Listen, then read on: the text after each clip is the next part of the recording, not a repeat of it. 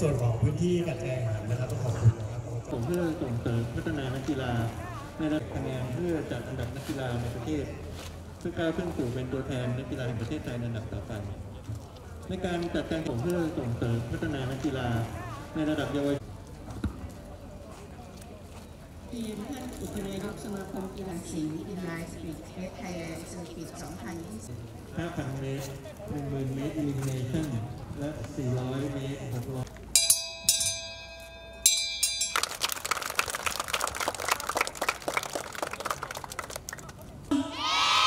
นั่นและดีงามแต่หนึ่งสองสามกดไลค์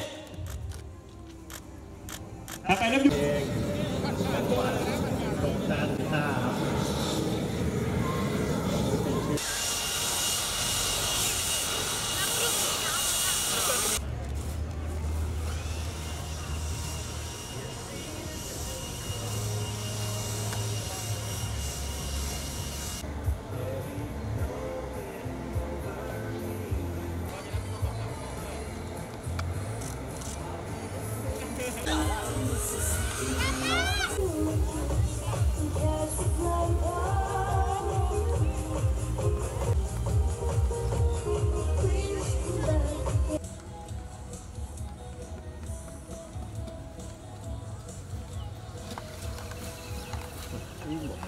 จริงปะแต่มันวิ่งดีฮะ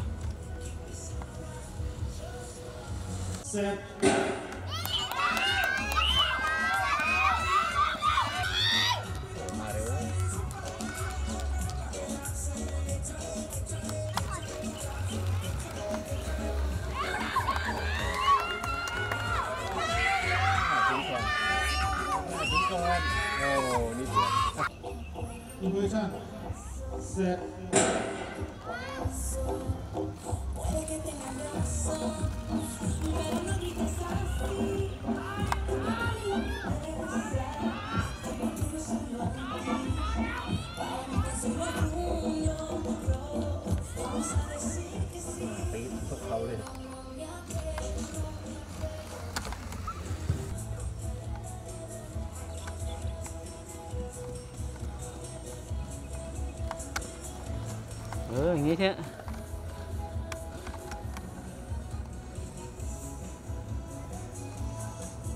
โอเค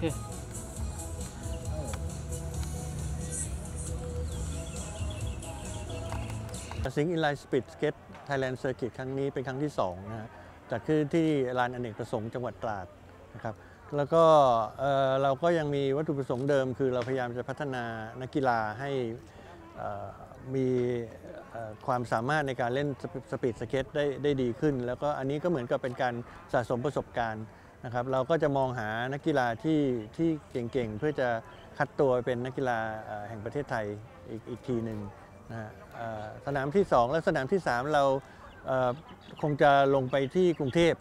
นะครับ plan ก็คือประมาณเดือนตุลานะฮะก็จะจะครบ 3 สนามในปีนี้นะครับ ส่วนสนาม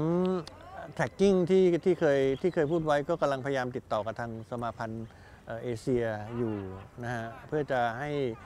ลองขอความช่วยเหลือว่าว่าให้เขาแนะนำว่าเราควรจะต้องทำยังไง เพื่อจะให้เป็นที่ยอมรับของของสหพันธ์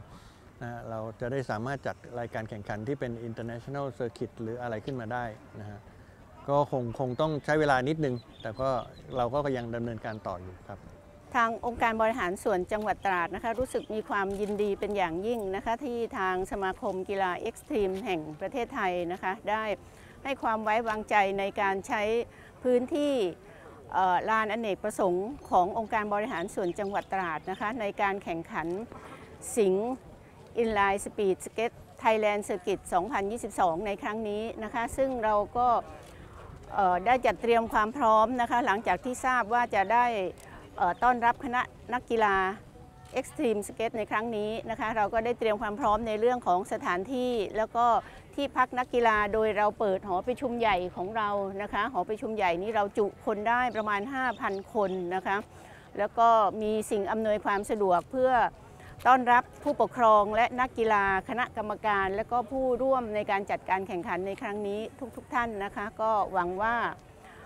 ผู้ที่มาเยี่ยมเยือนจังหวัดตราด และองค์การบริหารส่วนจังหวัดตราดจะได้รับความประทับใจในการที่มาเยี่ยมเยือนของทุกๆทท่านในครั้งนี้นะคะ